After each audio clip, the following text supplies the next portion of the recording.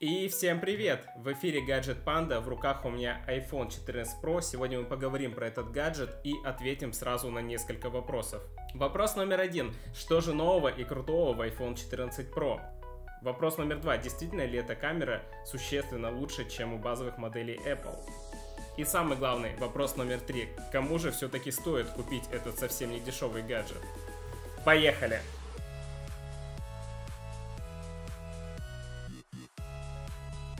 А пока поставьте лайк авансом. Если видео вам не понравится, просто заберете его назад. Начнем, как обычно, с внешнего вида смартфона. Главным визуальным отличием является наличие островка на экране. Честно, честно, мне это капец как нравится, но об этом чуточку позже. В остальном, это все такой же стильный iPhone с прямыми гранями. Думаю, Apple не планирует в ближайшее время уходить от этой фишки. Цвет у меня в руках, что ни на есть самый новый, Deep Purple. Сначала я думал, что он будет слишком ярким, но кому понравится фиолетовый iPhone? Come on. Но, как оказалось, это скорее яркая версия графитового айфона, только с фиолетовым отливом. В темноте иногда вообще сложно понять, что это за цвет, но выглядит, как по мне, сдержанно и круто. Тут лайк. Диагональ экрана все так же 6,1 дюйм. Говорят, что он стал чуть толще, но визуально, на ощупь или весом смартфон не потерпел никаких изменений. Спереди 14 Pro имеет покрытие Ceramic Shield, а рамка выполнена из хирургической нержавеющей стали. Теперь давайте обсудим челку, которая превратилась в остров. Сразу хочу заметить, что просмотр видео в полном экране добавил смартфону безрамочности. Потребление видеоконтента стало приятнее, но опять же, тут на вкус и цвет. Кому-то она действительно может мешать. Давайте поподробнее остановимся на главной фишке нового гаджета от Apple. Это Dynamic Island. Купертиновцы умудрились обыграть наличие Face ID, камеры и остальных датчиков. Теперь это не просто вырез, а полноценная интерактивная панель. Кстати, главный инсайдер по Apple Марк Гурман уже подтвердил, что в iPhone 15 все модели получат Dynamic Island. Недолго эта фишка была эксклюзивом про версии. На данный момент она имеет уже несколько десятков анимаций и сценариев применения. Например, вы ставите телефон на зарядку, сворачиваете музыкальное приложение с активной песней, используете Face ID, принимаете вызов, присоединяете гарнитуру, получаете оповещение о низком заряде батареи, включаете беззвучный режим и многое-многое другое. Кстати, то, за что мы любим Apple, интерфейс работает даже при двойной загрузке. Ловите пример. В общем, понравилось ли мне данное нововведение? Да. Является ли это киллер фичи нового iPhone? Нет. Стоит ли покупать 14 Pro только ради этой фишки? Точно нет. Давайте поговорим об экране. Спустя столько лет iPhone 14 Pro наконец стал обладателем Always On Display. Это стало возможно благодаря снижению герцовки с 10 до 1 Гц. Лично мое мнение вы знаете. В часах это must-have, в телефоне выпендрешь. Но выглядит круто. Я вообще всегда за новые фишки, особенно когда их можно отключить по необходимости. Но давайте разберемся, так ли это сильно влияет на батарею. Черт, еще как! По итогам теста iPhone с функцией Always On Display и цветным экраном разрядился за 59 часов, iPhone с Always On Display без цветного экрана за 70 часов, но спустя 70 часов бездействия у iPhone с выключенной функцией Always On Display осталось еще 70%. Что можно сказать на этот счет? Идете в поход, отрубайте эту функцию. Но если так разобраться, вы заряжаете свой смартфон примерно раз в два дня. Кто-то, судя по комментариям, каждый день. Так вот о чем я. Как по мне, разница не особо будет влиять на смартфон при регулярной эксплуатации телефона. Да и система работает не всегда. Когда iPhone уходит в режим фокусирования, Always On Display отрубается. Когда вы кладете iPhone в карман, она также выключается. Так что я не думаю, что стоит отдавать за телефон больше 100к, чтобы экономить несколько процентов батареи на прикольных новинках. Уходить далеко от экрана не будем. Тут по-прежнему OLED матрица HDR10+, разрешение экрана 1290 на 2796 точек, и в этом году нам завезли яркость целых 2000 нит. Это на самом деле очень высокий показатель. Но в обычных условиях вы можете поднять яркость только до 1600 нит.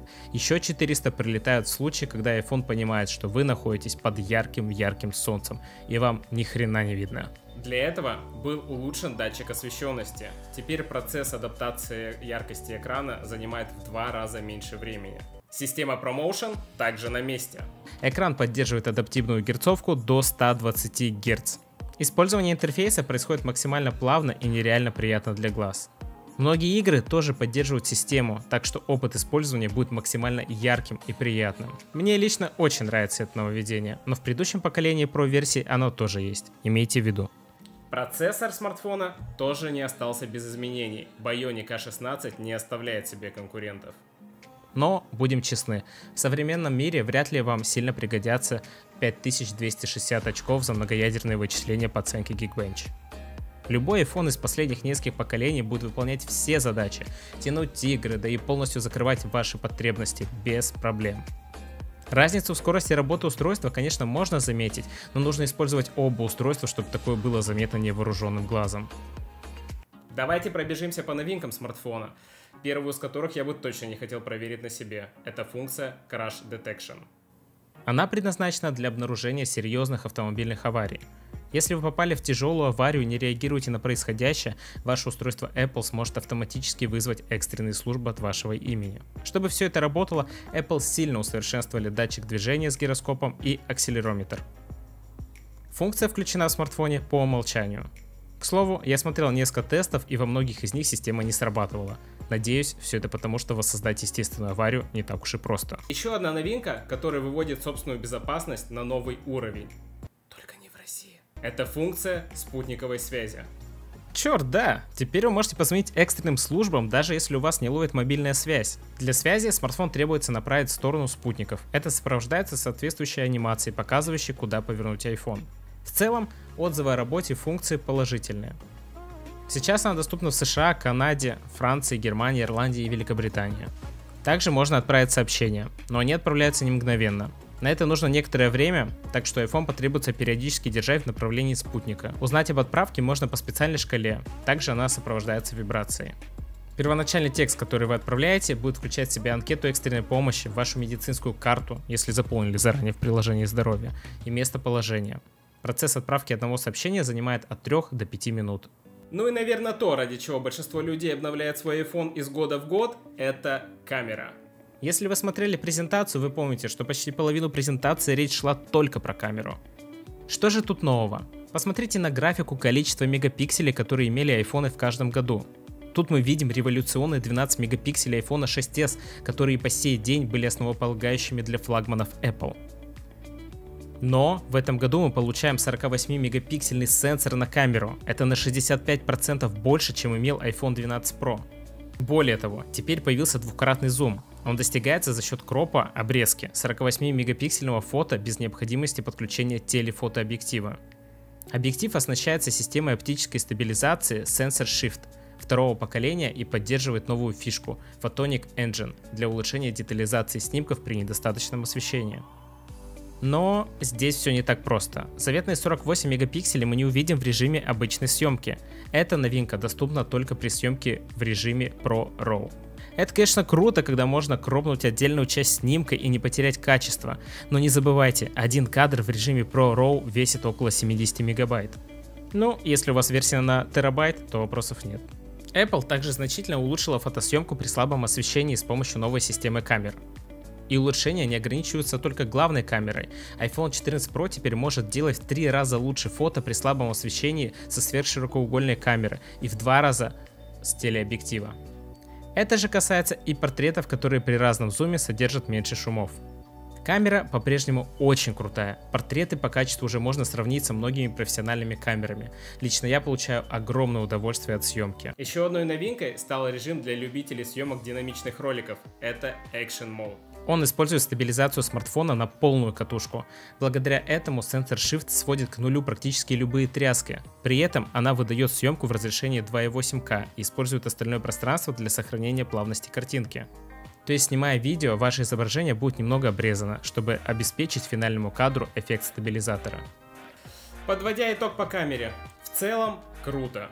Сильно ли круче, чем в 13 Pro? Не особо. Лично мне всегда бросается в глаза возможность 13 Pro и 14 Pro делать крутые портретные кадры. Я считаю, что у этих двух моделей лучшие камеры. Сильно ли они круче камер обычных моделей iPhone? Если вы не искушенный любитель фотографии, то в целом нет. Но если же вы любите делать снимки на свой телефон, тогда разницу вы точно почувствуете. И давайте, не отходя от темы, определимся, стоит ли менять 13 Pro на 14 Pro. Если у вас есть лишние деньги и вам их не жалко, то новинка вас порадует. Всем остальным обладателям тренашек предлагаю подождать. Есть вероятность, что 15 Pro все же будет поинтереснее и киллер фич там будет побольше. И давайте решим, кому же все-таки подходит 14 Pro. Dynamic Island, Always On Display и прочие фишки флагманского телефона станут крутой обновкой, если у вас любой смартфон без приставки Pro. Это, разумеется, лично мое мнение, но если у вас, к примеру, 11 модель iPhone, вы ощутите колоссальную разницу в опыте использования. Про более ранние модели я даже заикаться не буду. Что касательно iPhone 12, 13, они очень хороши, но если вам необходимо что-то большее, берите сразу 14 Pro, вы не пожалеете точно. Ну, либо попробуйте просто форм-фактор поинтереснее, обновитесь до 14+. Не можете решить, какой все же телефон купить? Смело пишите в комментариях. Я с радостью помогу каждому и отвечу на каждый ваш комментарий. Обязательно подписывайтесь на канал, ставьте лайк этому видео, жмите колокольчик, и я с радостью, с радостью буду ждать ваших комментариев и увидимся в следующем видео.